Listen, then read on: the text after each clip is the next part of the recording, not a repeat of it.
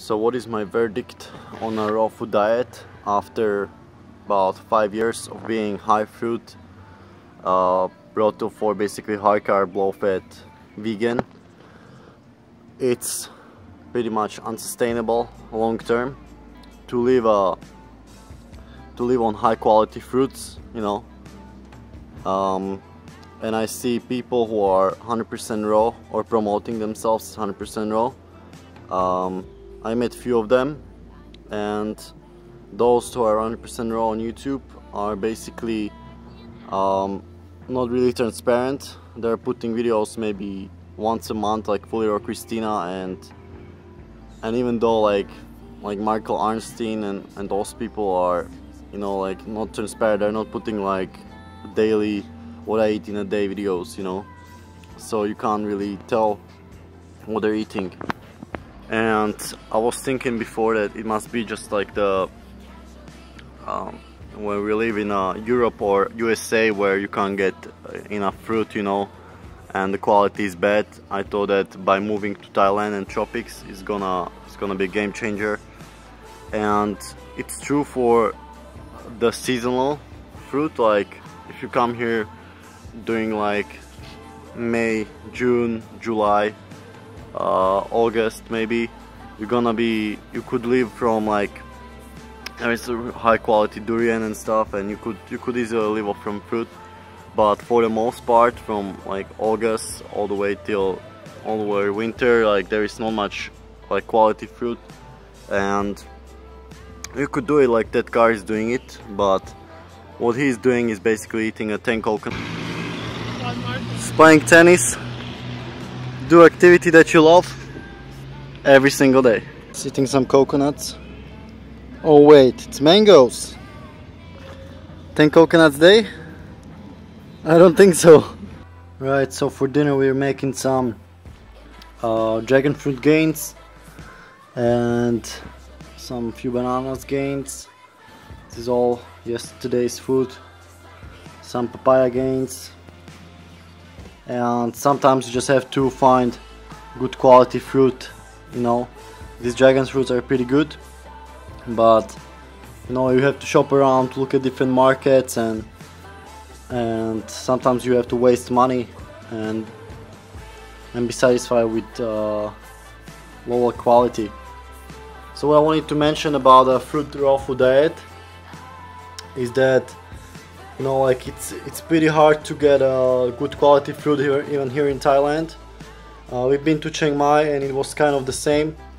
Um, at the time it was June so you have to shop around really and you have to find a time maybe like all day till you look at different markets and find a good quality of course there is a good quality but you just have to spend more time to look look for it and sometimes you have to spend more money as well.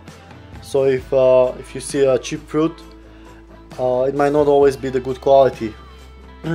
Usually the fruit season in season is gonna be really good quality but it's not always the case. So, do I think that it's better to eat coconuts and avocados other than you know like to fuel up really like to get like Ted Carr is doing he's getting pretty much most most of his calories are coming from coconuts and avocados. On a raw food diet. But I don't think it's necessarily better. Um, it's working for him definitely because I seen him running. I see him uh, running and cycling and swimming results and he's he's faster than me.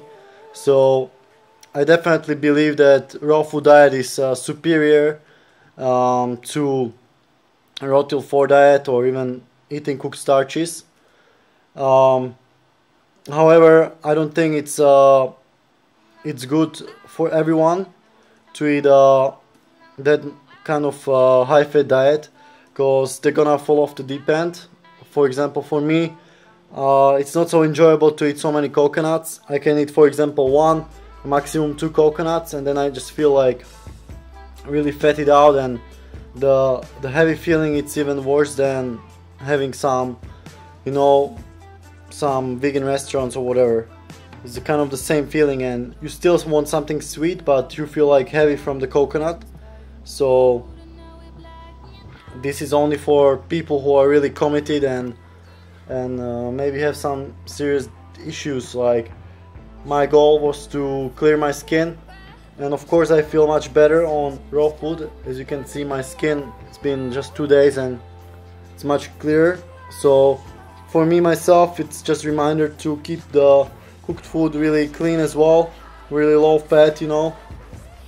And and I believe that society should be uh, heading towards planting more fruit trees and more quality. And over time we could be just like you know having so many varieties of fruit that we don't even know. And that's the next topic of the video that I'm gonna talk about. But definitely raw food diet I still believe in it it's still like I still feel amazing. We just don't live in a world even in the tropics where you can get uh, high quality all the time to sustain yourself for all year round you know? So don't be afraid to carb up on rice. Just keep the fat low you know? If you eat uh, additional sodium you gotta sweat it out through exercise. And otherwise you're doing a great job. Even if you're in Europe just fill up on starches. It's better than to starve or to you know to fill up on something like that is raw. But uh, it's disgusting you know. If you don't if you don't have access to high quality fruit it's better to eat uh, starches. Otherwise you're gonna be just ravenous and undercarbed you know emotional or angry like been past few days just like bought like four kilos of fucking dragon fruit and it was not sweet at all. So imagine that frustration like you wanna be raw. You bought so much fruit to eat during day and it's even and even watermelon. I bought like 5 kilo watermelon and that was my fruit for most of the day. And it was all like rubbish you know? Basically I had to throw everything away so in that case it's bad to eat your rice